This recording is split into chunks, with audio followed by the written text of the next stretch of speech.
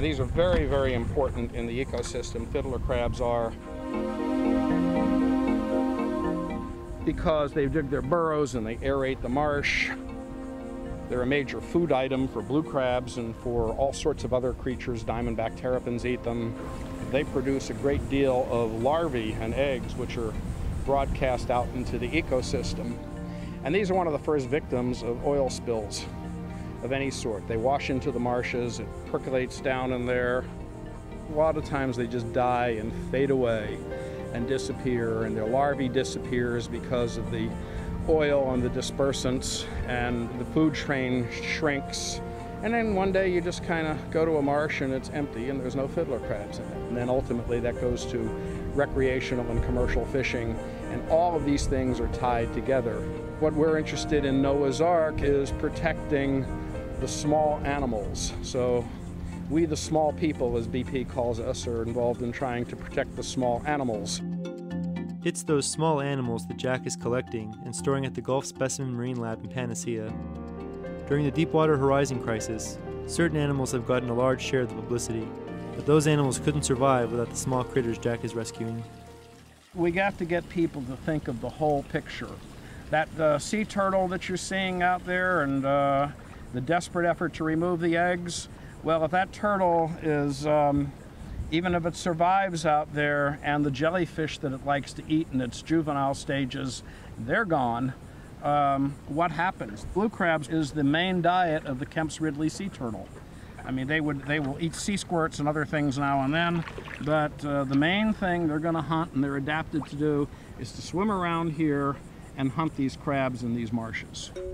So there's all an interconnection to the economy, to our way of life, and everything else. And if oil comes smothering and on top of this stuff, we won't have it anymore. And that's the idea behind Operation Noah's Ark is to catch what we can catch while we can hold it. And if the oil comes and it really comes in here, it may be the only creatures. And they're not just the oil tomorrow. We're talking about effects that can take for years.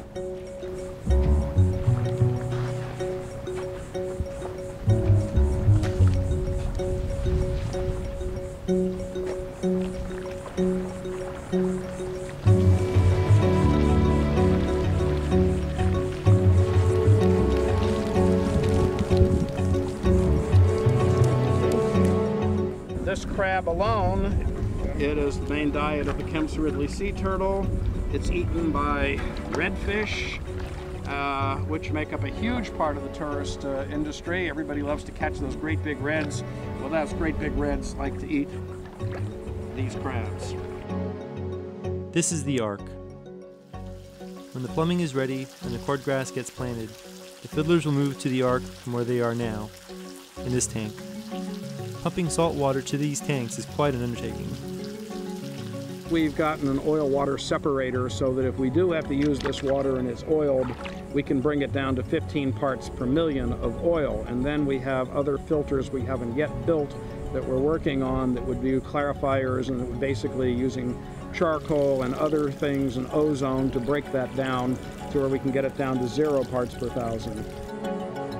So after Jack and others like him have done all the work to catch and keep these guys, how will they know when to release them? All right, let's look at a scenario.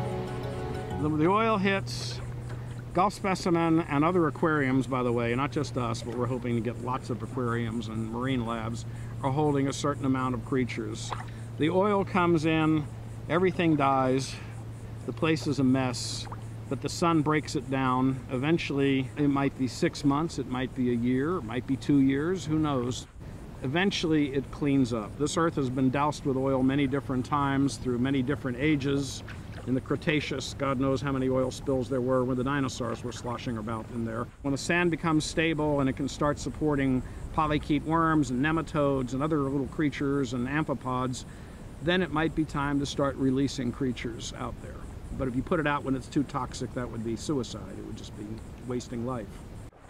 The hope is that none of this hard work will be needed. While the most recent news from the Gulf is promising, long term effects can be difficult to gauge. But whether the very worst happens, or even if all the oil mysteriously disappears, Noah's Ark will be ready. it's a story of hope, basically, of ca catastrophe and hope coming out of catastrophe. It's probably not going to do any good, but we're going to try. You know, we're humans. It's part of our human genes.